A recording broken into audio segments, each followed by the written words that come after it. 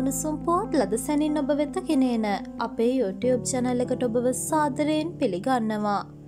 ජනාධිපති රටට පිටු පෑවා සාටක රැසක් කැබිනෙට්ටුවේ සිටීම ලැච්චාවක් නාමල් හරින් මට ගහනවා දිලිත්.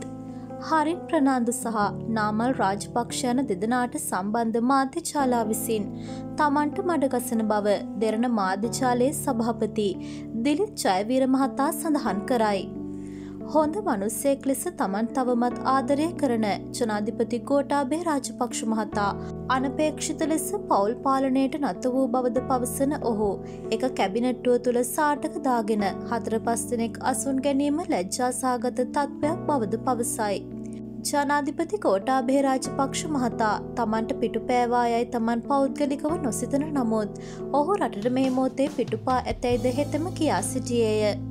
අන්තර්ජාල නාලිකාවක සාකච්ඡාවකට එක්වෙමින් හෙතෙම මෙම අදහස් පල කර තිබේ.